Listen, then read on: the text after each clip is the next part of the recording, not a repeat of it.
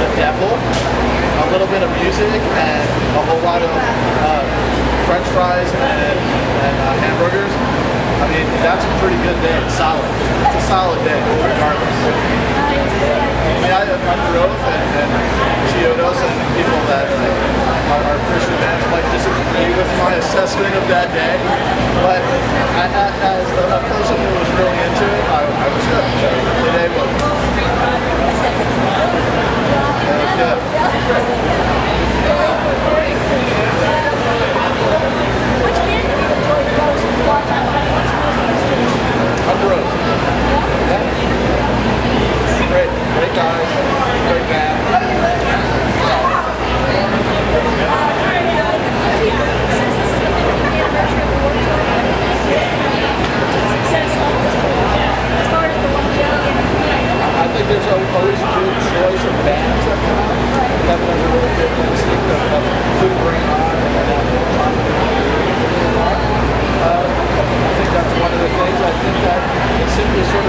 regenerates itself every year with kids.